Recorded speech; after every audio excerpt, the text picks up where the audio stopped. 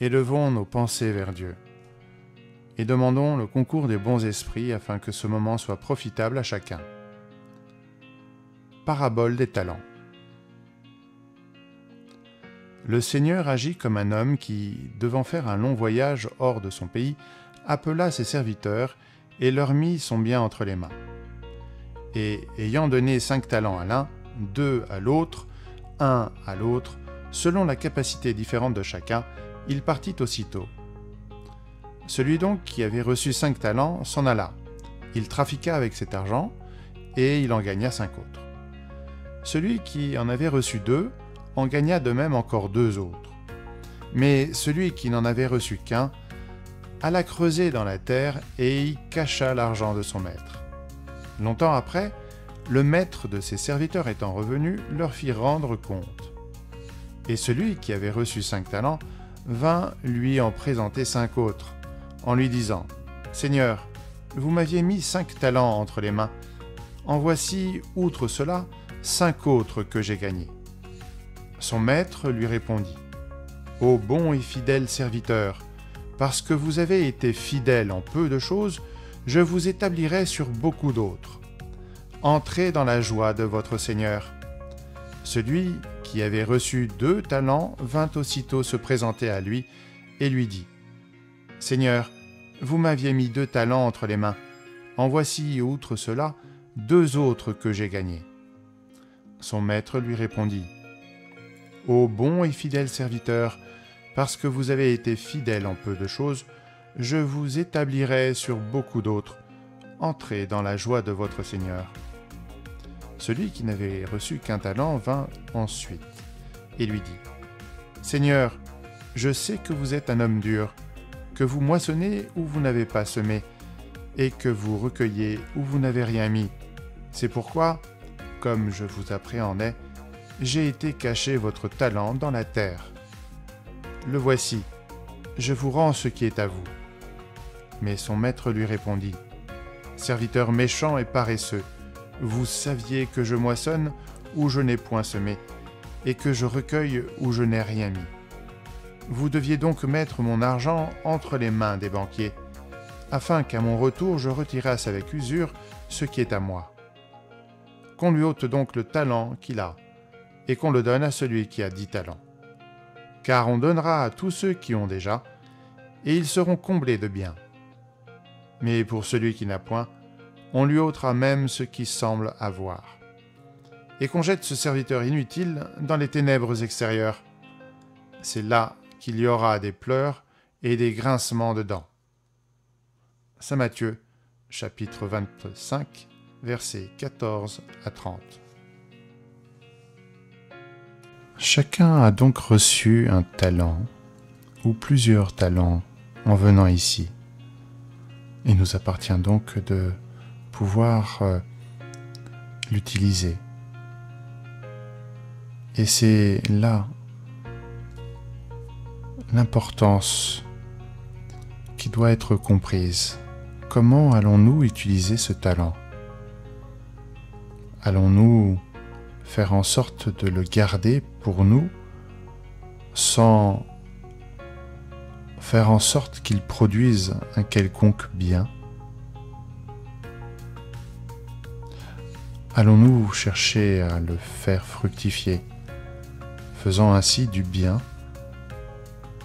qui sera réparti dans la société? Ces talents sont nombreux et multiples, comme nous pouvons le voir ici. Certains ont un travail physique, d'autres un travail intellectuel. Et tous, nous avons à développer ce sens moral. Et par ce développement à la fois physique puis intellectuel, nous pourrons enfin parvenir à développer ce sens moral, cette compréhension du bien et du mal, cette compréhension de l'intérêt personnel et de l'intérêt collectif. Nous ne pouvons progresser tout seuls. Alors, allons au contact de nos frères et ne soyons pas paresseux, ingrats. Allons et donnons, donnons de notre sueur, de nos efforts et travaillons. C'est ainsi que les talents pourront se multiplier.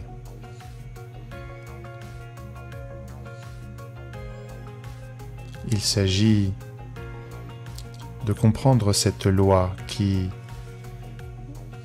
est à vivre pleinement, puisqu'elle est en chacun de nous, dans notre cœur, dans notre conscience. C'est ce qui nous anime en réalité. Soyons prêts à ouvrir notre fort intérieur et à regarder ce qui se trouve au fin fond de nous. Soyons prêts à regarder en nous ce qui s'y trouve.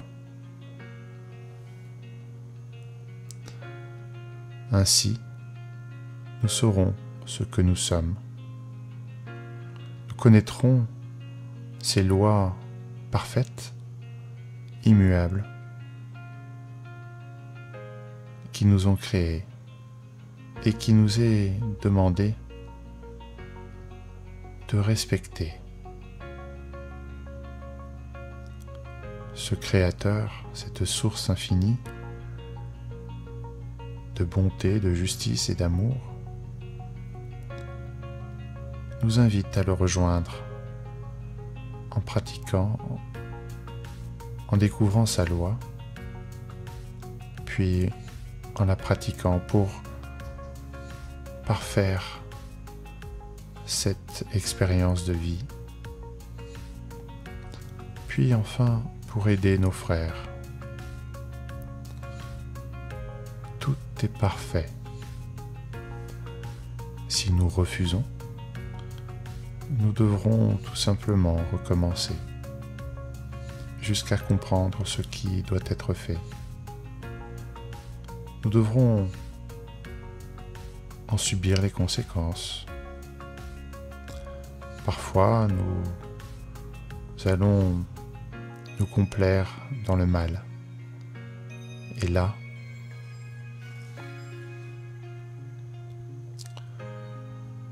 nous aurons à rectifier la plupart de nos relations. Parce que nous comprendrons que lorsque nous faisons mal à l'autre, c'est d'abord à nous-mêmes que nous infligeons ce mal. Et nous ne pouvons nous détruire, puisque Dieu nous a créés immortels. La seule façon de grandir et de prospérer, de s'épanouir, c'est de vivre selon les lois de Dieu. Ces lois de justice, de charité et d'amour. Nous sommes tous porteurs de ces indications, de ce mode d'emploi de la vie. À nous de prendre le temps de le comprendre, de bien le vivre et d'utiliser à bon escient nos talents. Ne soyons pas avares et donnons, donnons toujours, car c'est ainsi que nous allons recevoir. Affranchissons-nous de ces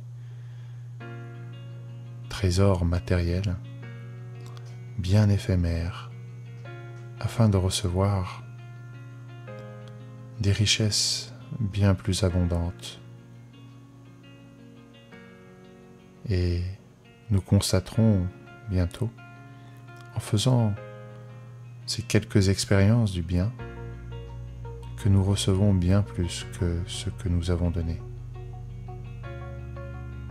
Soyons conscients de ça. Cette loi n'est que très peu contraignante, mais amène un si profond bonheur qu'il serait vraiment dommage de ne pas faire ce pas, ce petit effort. Soyons donc heureux d'être éprouvés ici, de pouvoir faire ce choix par nous-mêmes, car tout le mérite nous reviendra. Et notre Père nous regarde avec beaucoup d'amour, nous invitant à le rejoindre, faisant ces quelques pas ici sur Terre pour gravir peu à peu cette montagne jusqu'au sommet. Nous serons heureux d'avoir fait ce voyage vers lui et en cours de chemin, nous aurons pu aider nos frères à nous suivre et à trouver ce chemin vers Dieu. Le sommet de la montagne nous permet d'embrasser les autres montagnes et de constater combien nous sommes tous sur le même chemin, celui qui mène à l'amour, qui mène à la perfection, qui mène au don de soi, comme notre frère Jésus, qui a tout donné pour nous.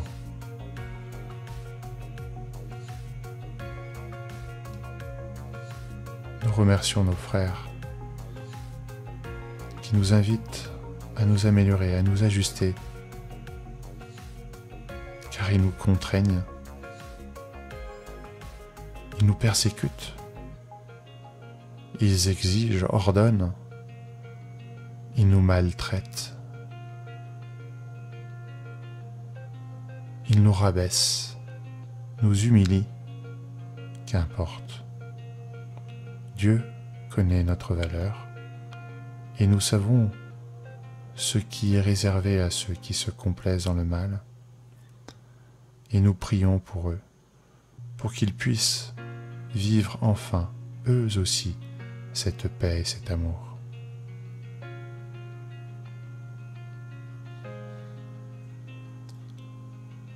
Soyons conscients que nous pouvons être utiles au bien du plus grand nombre.